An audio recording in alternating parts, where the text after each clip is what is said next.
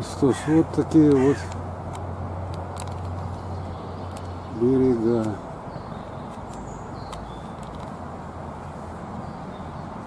Варшавские. Увисло.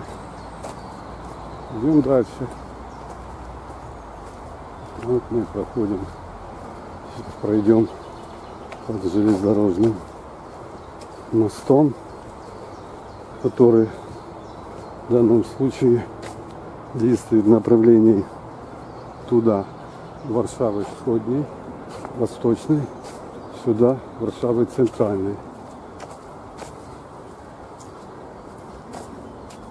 Правда, от Варшавы Восточной до Варшавы Центральной есть еще остановка, называемая Повисня.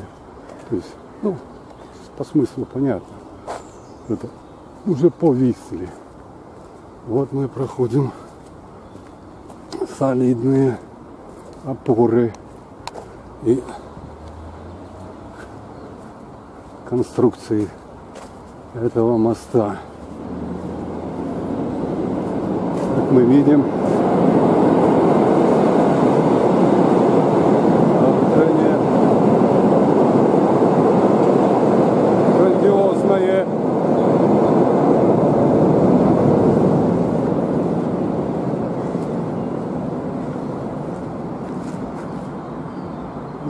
Вот так оно выглядит.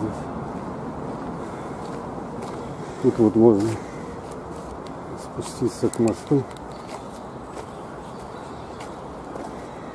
Как вижу, если кого интересует,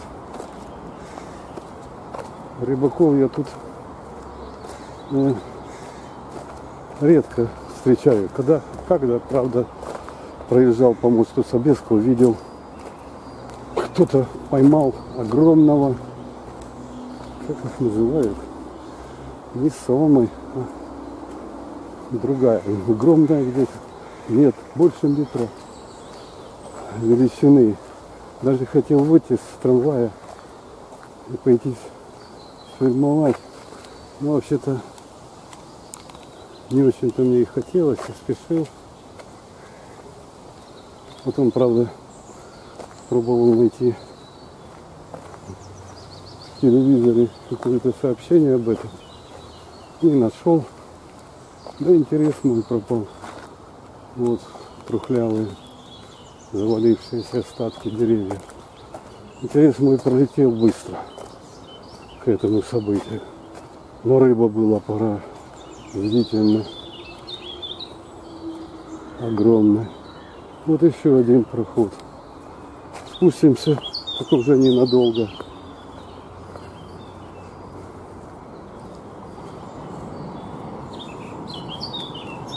Угу. Вот так вот выглядит это. Вот мост автомобильный. А нам надо вон аж там тот мост, по которому мы свернем направо. Сейчас без 15.10. Сегодня у меня было много работы, я задержался относительно. Поэтому так поздно начал свое путешествие вдоль Вислы. Вот тут песок. Право.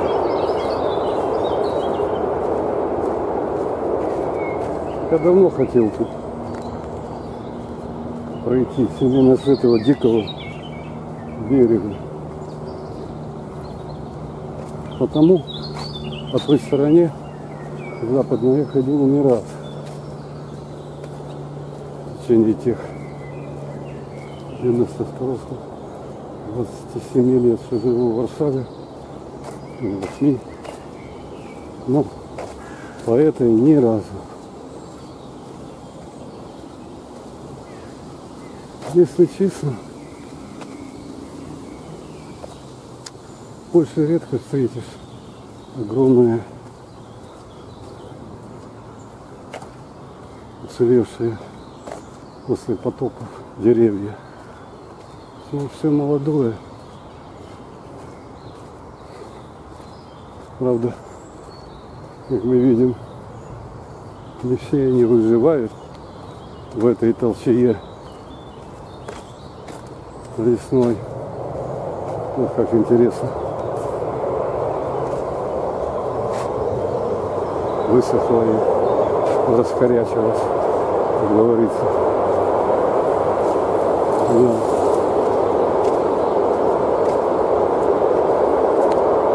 Ну, кто-то тут занимается очищением. Ну и правильно, потому в конце концов это может кончиться для кого-то трагически. Чистить леса необходимо, как мы видим. Время.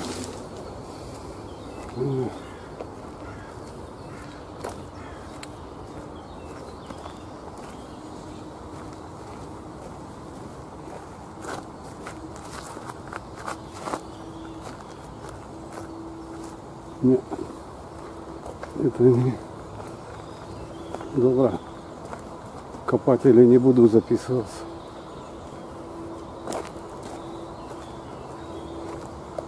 С моим несовершенным зрением без определенных. Вот смотрите, еще постоянно встречаются вот такие вот спуски к воде.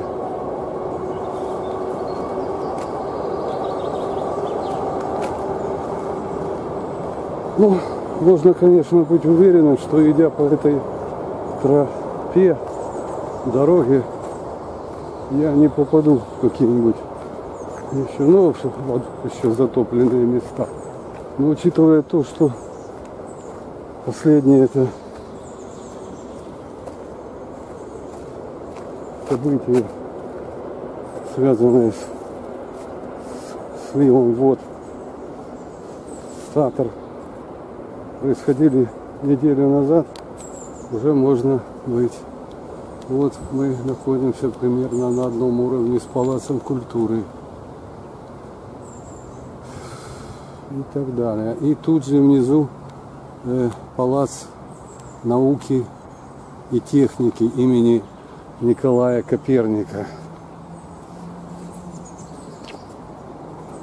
Почему Николай Коперника, думаю, говорить объяснять не надо. Хотя на Николая Коперника претендуют и немцы. Но это уже не важно. Много есть темного в исторической науке. Слишком много, чтобы ломать копии. Это только националистические, скажем даже так, не укрывая тупые орды, пробуют ломать копья, приписывая кого-то или, или что-то себе. Это от бедноты ума и слабого развития этих националистических орд. Ну добро, я смотрю тут интересная зачищенная территория. Я даже в недоумении не пойти ли мне туда вот, где палац науки и техники, там вдоль Вислы. Но опять же, не имею много времени, и может придется вернуться. А вот есть нарисованная граффити, но это официальное граффити с назвой Цала Пуща парком народовым. То бишь Пуща это парк, народный парк. Ну, имеется в виду Пуща э, Беловежская. Ну, он там зубр выглядывает.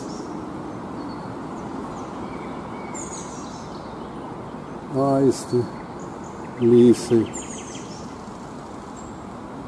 какие-то мелкие существа, волки, кабаны, олени. Добавил бы, так как я Одно время работал в Груйце, в лесничестве. Недолго. Месяца три, типа четыре. Так, там было очень много сарн и лосей. Их постоянно трупы можно было встретить на шоссе. А вон еще одно существо рысь. Встречал я там и лисов, и кабанов. Однажды мои подчиненные ребятки, когда было в лесничестве э, какое-то собрание, они немножко голодали, решили убить сарну. Ну, к счастью, не попали. Я был э, бессилен тогда вмешаться, потому что они просто с этого ружья пальнули где-то на опушке там было штук 5-6 сарн. И, к счастью, не попали, только спугнули их.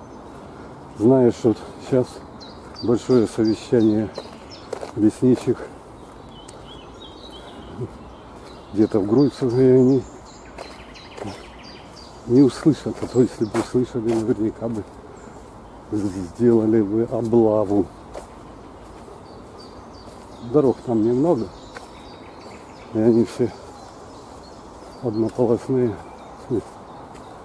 мало пыль. Вот тут чувствуется аромат